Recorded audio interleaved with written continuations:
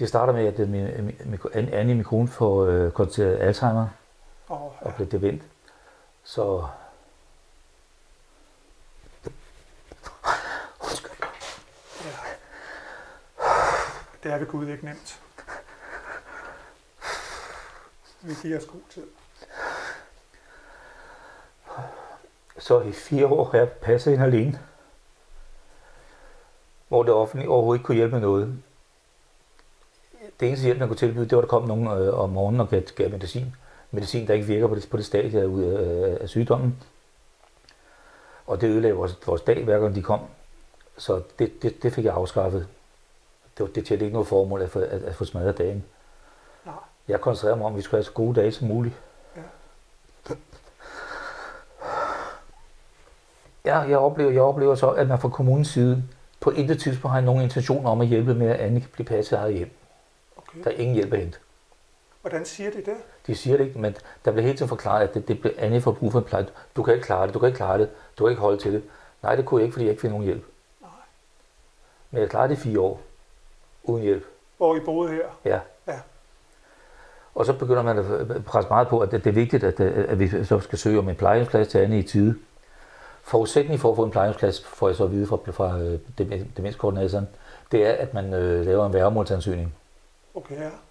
Og, og det blev helt ud, fra starten klart udelukket, at jeg og familien ikke, ikke kunne være værger, fordi vi var for gamle. For gamle? Ja, altså jeg er 72 nu, ikke? Altså, øh, og, og, og Annis brødre, de er jo også i 70'erne, ikke? Men det, det går ikke til, men det skulle en professionel værge.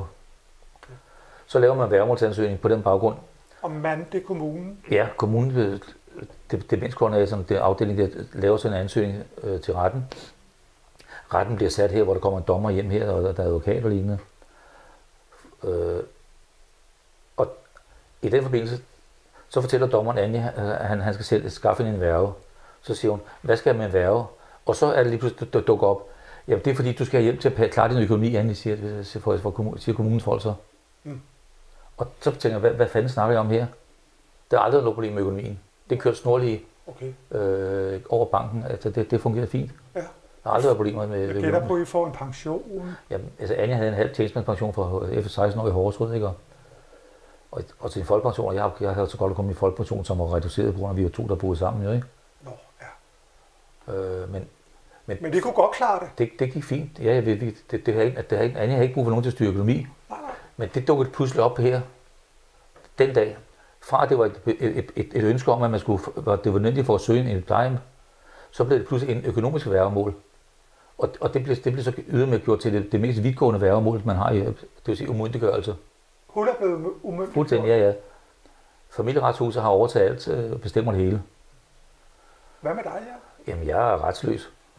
Du har ikke fået lov til at, at have noget at skulle have sagt. Ikke en skid, og jeg, jeg, jeg får heller ikke nogen, jeg er heller ikke blevet part i nogen sager. Jeg kan, jeg kan ikke begære partshøring eller lignende, fordi man regner mig ikke som part, fordi jeg ikke er gift. Altså, virker jo fuldstændig. Altså, altså, altså kan, mig. kan øh, statsforvaltningen eller ret, familieretshuset træffe afgørelser, som ikke skal begrundes skriftligt øh, ved- med klagevejledning, fordi jeg er ikke part. Og det det trods for, jeg, jeg, jeg mener helt klart, at alle, alle dokumenter i det offentlige, hvor mit navn nævnes, eller min person er nævnt, har jeg krav på for, øh, at få øh, t- tilgængeligt. Og du får simpelthen at vide, I er ikke gift, så du har ikke krav, siger de. Altså det, det er, hvad jeg har hørt af omveje, fordi øh, værgen har, jeg, jeg, jeg taler ikke med værgen. Jeg har, min, min, min store datter er så god til at tale med ham, så, så hun skriver med ham, okay. fordi jeg, jeg, jeg, jeg er så negativ overfor ham. Jeg, jeg mener, at den værge, vi har, hun har fået, det er en plattenslager, professionel plattenslager, der har en helt anden intention. Det er ikke en, I kender. Nej, nej, det er en, det er en, en Karl Smartrøv fra Hørsholm, som øh, lige i mine øjne er lige dygtig nok. Første gang han, han, han taler med ham på telefonen, så siger han, ja, og så skal alt, alt skal jo sælges, og huset skal sælges, og, og det skal være til en skarp pris, siger han så. Hvor jeg siger, nej, det skal være til prisen. Der havde du accepteret, at det skulle sælges. Ja, det var nødt til, det, det, har, det har myndighederne fået fastslået, det, det kan jeg ikke hamle op med. Altså, jeg kan ikke hamle op med nogle myndigheder, som, som hverken kontakter mig skriftligt, giver mig nogle skriftlige meddelelser, noget. Jeg, jeg har jo ikke nogen, nogen, nogen mulighed for at gøre indsigelse på noget. Jeg kun hører af omveje. Så Hvor er Anne nu? hun er på, på Trongården i Vejby. Og der har hun fået en plads. Ja, det fandt man lynhurtigt til den, den 4. januar, der fik, blev hun flyttet op. Og det vil sige faktisk, ja, Uden hjælp fra kommunen af. Der var, som de, som de, de, de sagde op på Trunkeren, da vi kom op. Men jamen, har, har, er der slet ikke været nogen vejledning og hjælp til? Nej, ikke en skid. Har I bedt, og har du også bedt om at få noget hjælp af kommunen? Nej, jeg, har- jeg har gennem, gennem lægen, altså det, øh, vores læger har kontaktet, kontaktet og forklaret, at, at der var nødvendigt, at, at man gjorde noget. Og jeg kan huske, at første gang øh, vores læge øh, prøvede at få fat i øh, demenskoordinatoren og tale med hende, og få noget fornuftigt ud af hende, der sad lægen og blev pisse negativ og sagde, jamen du, du må da vide noget, du må da gøre noget, det er dig, der bestemmer jo helvede. Mm. Ja, ikke? Okay. Øh, så der er ikke sket en skid. Altså jeg har gennem lægen bedt om hjælp til at, øh, til at skulle klare noget, de problemer, der opstår, når, når, når, når Anne havde det dårligt. Men der var ikke noget at hente der. Jeg prøver stadig at forstå situationen lidt, Jan, fordi det, det jeg ligesom fornemmer nu her, det, billede, jeg ser for mig, det er, at I har haft et langt liv sammen, dig og Anne. Mm-hmm. Anne får så en diagnose, der gør, at hun bliver konstateret, at hun har Alzheimer's. Ja, og, det, og den, er, den er så fremskrevet, så det, så det, det ja. er medicin vil ikke hjælpe. Så du gik ind i år og blev øh, Annes hjælper også, ikke? Jo, jo, jo. Passede hende. Ja. ja. Og det gjorde I to i, øh, herhjemme i huset? I cirka fire år hjemme, ja. Hvad var det, der gjorde, at, at kommunen lige pludselig kom? Jamen det, det, altså, det er jo, at, at, at kommunen kommer ind, øh, øh, jeg mener, det, det, det starter med, at lægen kontakter, at, at, at man må gøre noget for, at- for at hjælpe. For at hjælpe jer? Ja, Okay. Han kan godt se måske, at Anne er fremskredet nu. At, at, ja, jamen, så, ja, jamen, Vi skal det- have det- lidt mere hjælp. det- det- det- Jeg havde fin kontakt med, med vores læge her vi- det- nede på lægehuset. Ja. Og, så, Og så kom kommunen så. Ja, så kommer der en såkaldt demenskoordinator ind over. Okay. Kan du huske, hvordan I mødte hende? Eller ham? Ja, det er en hende. Okay. Øh, jeg, jeg, jeg oplevede som et, øh, en af de sædvanlige bedrevidende madammer der, som tager ned til en. Mm. Dem er der mange af til styr med. Okay. Der er mange, der ikke har respekt for, øh, for, for borgerne.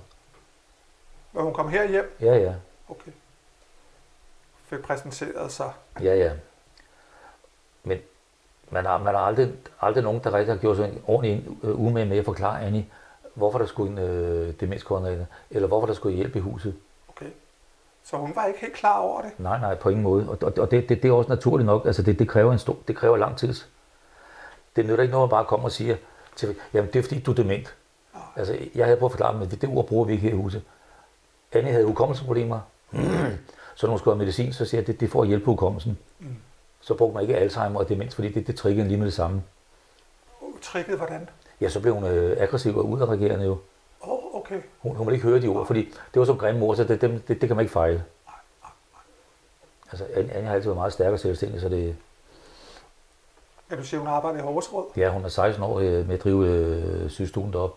Ja, så lærer man jo lidt. Ja, og, og det, har hun, det, det har hun gjort så godt, så hun øh, i sin tid blev sygestuen udnævnt til den bedste arbejdsplads af fangerne. Okay. Så Ej, jeg kan forestille mig, at fanger er taknemmelig at gøre tilfreds. nej, det er sgu godt nok. Det, det, det skal du ikke tro. nej, okay. Jeg har ikke været i fængsel, så Nej, nej, men det har jeg til Men altså, jeg har til gengæld kendt mange af de rødder, som, som, som, som hun har haft der, og, og de har altid været meget begejstrede for den tid, de var der. Ved dem. Ja. Så Det er jo et helt arbejdsliv, ikke? Altså, Jo, jo, jo. Ja. Men, men det her med, at, at der så kommer en demenskoordinator fra kommunen, ja, og hun kommer jo på, på lægens forledning for, at hun skal hjælpe jer. ja altså det, det er jo hende, der skal finde ud af, hvad, hvad, hvad kan man gøre, ikke? Men du oplever ikke helt den hjælp. Nej, jeg, jeg, jeg oplever ikke nogen hjælp. Jeg, jeg, jeg, vi får tildelt noget, noget rengøringshjælp. Ja. Og første gang der kommer nogen her, så, så siger Annie, der har været en, der vil sælge mig en, en støvsuger. Nå, for Det var, hvad hun fik ud af det, ikke? Jo. Så jeg, så jeg får både drø- fjer- fjernet øh, rengøringshjælp og, øh, og de der plejer, der skulle komme og give medicin. Der var Gustaf en, øh, en, meget, en meget fornuftig sygeplejerske, en mandlig sygeplejerske der, som øh, han var akut sygeplejerske for lægerne. Da jeg ringer til ham og siger, at jeg, jeg, jeg kan ikke klare det med, at der kommer folk med om morgenen i vores morgenkaffe, og, og jeg ved aldrig, hvornår de kommer. Og så hele dagen øler bagefter. Okay. Så han, øh, han, han stoppede det, da jeg bad om det. Okay. Men det er den eneste hjælp, der var tilbudt. Det var noget, der ikke var brug for. Men hvordan kommer det så fra, at du siger nej tak til den her hjælp? Du kan ikke bruge hjælpen, som den leveres. Til at de nu vil have, at, øh, at I skal flytte fra hus og hjem. Jamen, det er konsekvensen af, at Annie skal komme på plejehjem. Det var betingelsen. Nej, det er konsekvensen af. Okay. Det er ikke en betingelse. Okay. Betingelsen er, at for, for at få plejehjemspladsen, så skal man søge et værgemål.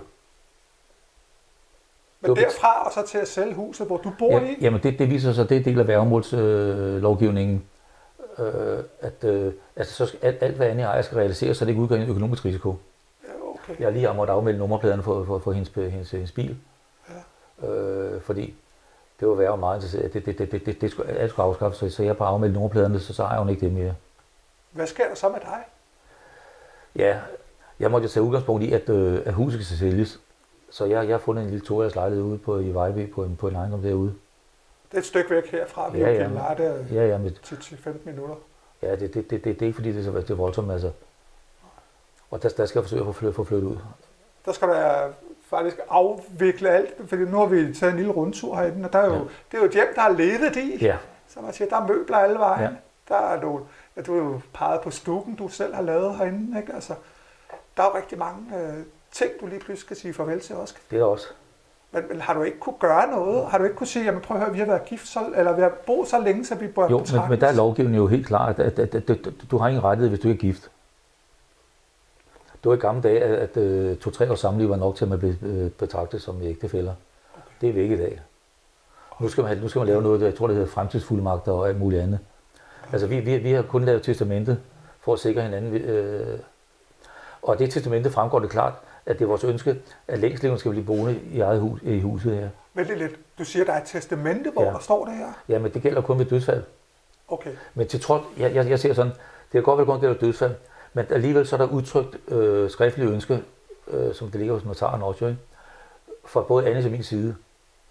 Og den, den hensigt og den, det ønske, det tilsidesætter man fuldstændig. Jeg kan så ikke forstå, hvordan, hvordan man kan blive værve for et andet menneske, hvis man ikke ønsker at lade det menneske kende, og ikke tage udgangspunkt i, hvad den mener og tænker, har, har, har vedkommende tænkt. Det, det står, jeg står uforstående over, hvordan man kan få sådan en job. Det virker meget grænseoverskridende, ikke også? Jo, det er der også. Ja. Og jeg kan også se på, på situationen her, at det skal gå ret hurtigt. Ja, det, det, det er jeg nødt til, for jeg, jeg har sagt ja til at flytte ind den første her øh, ude i Vejby. Ikke? Ja. Så lige nu så ligger jeg og, og, og slås med at forsøgt øh, boligtilskud og boligsikring og alt muligt. Og det er jo ikke, heller ikke bare lige til, øh, fordi hjælpen i dag består, at du, du kan gå på kommunens hjemmeside og, og, og, og, og prøve at slå op og så, så udfylde. Og så håbe det bedste. Ja, ja, og så kan du, øh, hvis du er skrab til EDB og, og, altså, og kommunale systemer, så kan, så, kan, så kan det lykkes at få det igennem, tingene igennem. Ikke? Jo. Så det er, det er lidt presset. Det er jo egentlig også, jeg sidder nu og tænker også det her med, jamen, når kommunen kommer og træffer den her beslutning og siger, jamen, du kan ikke, du, du har ikke del i det her bo, for Ja, det, det, det er familieretshuset, der, der træffer afgørelserne. Det gamle statsforvaltning. Okay. okay. Har I haft en advokat på? Nej, Hvorfor ikke? det er jo, Det er dyrt. hvad det koster, ikke? Ja, ja. Så, så for, øh, hvis I skulle forsvare jer selv, så skulle du have råd til en advokat, der kunne øh, bruge sin arbejdstid på det. Ja. Okay. Og Det jeg, virker uretfærdigt. og, og, ja, det, Meget endda. jeg, jeg, jeg, har aldrig, jeg har aldrig troet på retfærdighed her, i, øh, her i Gribskov. Jeg, har for, jeg har for dårlige erfaringer gennem øh, hele mit liv heroppe. Okay. Jeg tror ikke på retfærdighed. Jeg, jeg håber bare på at få en nogenlunde anstændig behandling. Ja. Men retfærdighed tror jeg ikke på her. Det har jeg oplevet for meget til min tid. Hvis huset sælges, hvem får pengene? Ja, det, det, det går så til Anne jo med, med, med, øh, ind på hende- hendes konto, som nu, som nu er Danske Bank. Oprindeligt var det nykredit, øh, hun havde.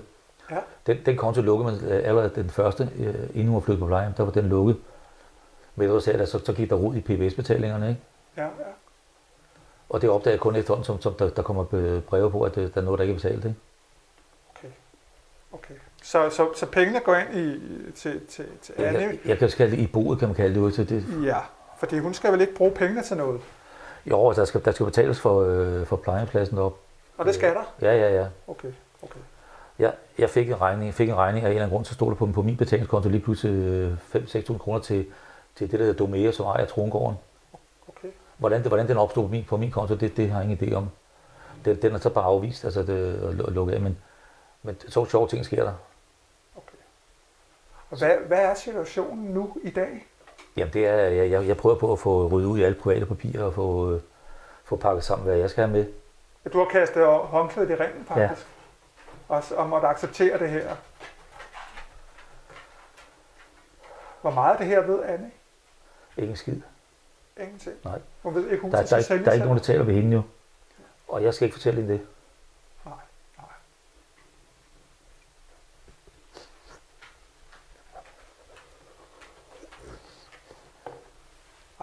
Være en frygtelig nyhed at få, Ja, at, at huset skal sælges på grund af, at hun skal have noget ekstra pleje. ja. Hvordan havde du håbet, det kunne løses? Altså, jeg havde håbet oprindeligt, at, at, at, få, at få, få noget støtte herhjemme, Ja. så kunne jeg klare en længere tid. Men du takke nej til den, du fik? Jamen, det var ikke, det var ingen støtte. Det var, Hvilken det, form for støtte kunne du bruge? jamen, det var, at der, der for eksempel, øh, der var en gang, der havde, så havde man, at der kunne komme folk ud om, om eftermiddag aften og være med til at aflaste. Mm. Men jeg, jeg, jeg, jeg havde ikke engang nogen, man kunne ringe til øh, i weekend, aften og weekender, hvis, hvis, hvis, øh, hvis Anne gik amok. Okay. Eller hun ville pludselig ville ud og gå. Altså gå tur, hun, hun skulle ud og lede efter, øh, hun skulle finde hjem. Okay, ja. Øh, der var ikke nogen kontakt nogen steder. Der var ikke nogen steder, man kunne kontakte jo. Var det, var, var det det rigtige træk at, at tage hen på et plejehjem? Højst sandsynligt. Ja. Altså, som situationen udvikler sig, når man, når man står øh, uden hjælp, så er der ikke andet at gøre jo. Og, og nu, kan, nu kan man pludselig godt sætte en masse folk på. På Trungården? Ja. Der kan man godt bruge en masse folk øh, med, med døgnbemanding på, og, og vagt, på- der sidder udenfor, så hun ikke stikker af. Okay. Det gjorde hun to gange den første uge, der, der stak hun af fra derudefra jo. På vej hjem her? Ja. Okay. Nu har jeg jo ikke talt med kommunen endnu. Jeg har heller ikke øh, sådan... Nu har jeg talt med dig. Det her, det virker til på en eller anden måde, at, at når, jeg vil, når jeg vil spørge kommunen, så vil de højst sandsynligt sige, at det her det er en personsag. Det udtaler vi os ikke om. Ja, ja. Men hvis de nu fik lov, hvad, hvad vil du gerne spørge dem om? Hvis du var journalist. Hvis jeg var journalist, det ved jeg sgu ikke. Øh, men altså, jeg, jeg, vil godt, jeg vil godt lige vide, hvordan fanden man kan tillade sig at behandle folk, som de gør nu. Ja. Jeg kunne i hvert fald godt tænke mig at finde ud af, hvorfor der ikke har, man ikke har kunne finde en middelvej. Et eller andet, der gør, at du kan blive boende her. Jamen, altså, der, der har slet ikke været noget udspil. Det, altså, der har ikke været noget udspil til, øh, om, øh, at, at på sigt er man nødt til at sælge det alene. Men hvis det er, så kan, så kan man lave en lejekontrakt på sig. Så, så, Ja. altså, der har ikke været noget udspil overhovedet. Den skal bare sælges. Det skal bare sådan. Du vil, være, du vil, du vil, du vil godt kunne have lavet, altså acceptere, at, at du nu boede som lejer, for eksempel. Ja, hvis det havde været mulighed, ja. Ja, i stedet for at skulle flytte til Vejby. Ja, i, stedet for bare at skulle pakke hele livet sammen, ikke? Livet sammen, ikke? Jo. Jo, jo, jo. Og de har ikke forsøgt at holde et møde med, med dig om det? Overhovedet ikke. Der har ikke været nogen, der har ikke været nogen til hemmelighed, og familieretshuset er helt kold i røven. Ja. Jeg, jeg har kun øh, mundtligt fået at vide fra, øh, øh, fra, øh, fra, øh, fra værgen, at familieretshuset har truffet beslutning om, at huset skal sælges. Så du har ikke selv været til stede der? Nej, nej, jeg vidste, altså af en eller anden mærkelig grund, så, så kan man åbenbart i familieretshuset tilsidesætte lovgivning og, og, og undlade partshøring. De har ikke engang hørt dig? Nej, fordi jeg er jo ikke part, jeg er ikke gift. Nej, Så- så men vil- så du er vel part. Åbenbart ikke i deres forstand. Så de har bare truffet en beslutning uden Ja. at over at snakke med dig. Ja. Var du inviteret med til mødet? Nej, jeg, har- jeg har ikke hørt noget fra dem overhovedet. Vidste du, det hold fandt sted? Nej, Fandt du først ud af det bagefter? jeg, jeg, kun, jeg har bare fået at vide øh, mundtligt øh, gennem min datter, som har, har ko- kommunikeret med værgen, for jeg gider ikke med dem. Nej. Jeg betragter dem som en planslager, og jeg bliver, jeg bliver meget negativ. Jeg mener, at der ligger en skjult dagsorden bag alt det her. Jeg mener, at der er nogen derude, der får fat i finger, fingerejendommen her. Der er mange penge i den. Det er en fornemmelse, det er ikke noget, du øh, har undersøgt. Nej, ja, det, det, det, har jeg ikke mulighed for, Nej. men, men, men jeg kan bare ud, ud når folk, den måde, folk taler på. Altså, i, i og med, øh, det var det første, der blev sagt, det er, det er vigtigt, at det bliver sat til en skarp pris. Ja, Hvor jeg siger, nej, det skal være prisen. det er fordi, han ville have solgt den hurtigt. Ja, og, fordi, og, så, og så, så kan man øh, finde en, der, der lige kan smide pengene her og nu hurtigt. Og så kan man få provision på det. Ja. Det er min klare opfattelse. Jeg, jeg, jeg har set så mange 20 i den kommune her, så det, øh, der har altid været et uskyndt sammenrend af politikere, øh, in- investorer, øh, spekulanter, altså folk og, og kommunale embedsfolk. Der har altid været uskyndt sammenrend i, i, i, i den her kommune her. Efter din mening, selvfølgelig. Nej, det er min oplevelse gennem, gennem her, Ja. tilbage fra 80'erne her. Ja. Der er altid, altid, altid, altid fundet ting sted, hvor, hvor der er folk, der har lavet penge på ejendommen. Nu øh, familieretshuset og kommunen, det er jo to forskellige ting. Ja. De, det er ikke, familie, familieretshuset, deres en- andel består i, at at de, de holder sig bare sammen til lovgivningen, at, at hvis man kommer under værgemål, så skal alt handles. Altså alt, alt realiseres. Kommunen, det er dem, der tilbyder pleje. Det er dem, der Ja, ligesom ja, skal ja. sørge for at få Annie også på. Ja, ja. Hvis du, altså for, for vi kan godt blive enige om, at familieretshuset, dem, dem synes du bestemt ikke har, øh, har inkluderet dig.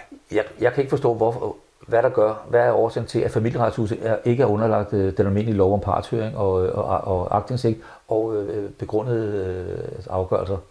Har du klaget over... Øh... Jamen, jeg har ikke noget klage over. Jeg har ikke noget på tryk, jo. Du kan ikke klage noget, du ikke har på skrift. Okay. Hvor skal du klage hende af? Men man kan vel få deres afgørelse på skrift, den må der være et sted. Det har jeg ikke krav på, for jeg er ikke part. Ej, Åbenbart. okay. Og det er det, jeg mener. Hvordan, hvordan, hvad gør man så? Ja, jamen, det er jo et godt spørgsmål. Det er jo et godt spørgsmål. Altså, det, det, det, det er jo sådan en, en, en, en ond cirkel, ikke? Altså, Ja. Hvis man ikke bliver accepteret som part, så har man ikke krav på partshøring, vel? Men altså, alle, alle andre forvaltninger er underlagt lovgivningen. Og nu ved jeg, nu ved jeg godt, at vi, har, vi lever en tid, hvor at, øh, sta- statsministeren har jo fjernet meget lovgivning, Mm. øh, over- overtrådt, altså, og man ignorerer lovgivning. Men jeg er jo ikke klar over, at det galt øh, overalt i kommunalforvaltning og offentlig forvaltning, Mm. at man kan ignorere lovgivning, og så udnævne sine egne betingelser for, hvad- hvad- hvad- hvad- hvordan man vil overholde det. Og det du siger her også, netop med, øh, med lovgivningen, det er vel et spørgsmål om også empati på en eller anden måde, at man sidder og kigger på det som et menneske og siger, at vi skal lige huske, vi skal lige huske Jan, han har altså 29 år i huset, og han har et liv med sin kone. Hvad med ham? Ham har vi da... Men det har du ikke følt. Der har ikke på noget tidspunkt tænkt på det. Der er ikke en sagsbehandler, der har ringet på. Nej, nej, det, det, det findes ikke i dag. Det virker godt nok. I dag har du ikke sagsbehandler. I dag kan du gå på kommunens hjemmeside, og så kan du prøve at log- logge dig rundt, rundt og se, om du kan finde et sted at skrive noget, Mm. hvis du skraber til kommunale systemer. Hvis du havde vidst alt det her, hvad, hvad skulle I have gjort anderledes? Altså for at undgå alt det her. Det kunne være godt råd til andre, der ikke ender i, i den her uheldige situation. Jamen, så, så havde vi måttet gifte os for længe siden jo. I, i, i stedet for at være godt tilfreds med, at vi havde det godt sammen. Ja, det er jo selvfølgelig en måde. Men hvis man af en eller anden årsag ikke ønsker at blive gift, Ja, så er man på den. okay, ja. Så har du bare bare grønne smækhøjt.